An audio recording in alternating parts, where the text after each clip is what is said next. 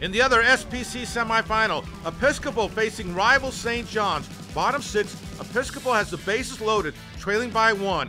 Harris Einoff ground to third, but Jeffrey Waller tags third, fires to first, and they get the double play. Last chance for Episcopal. One out, one down.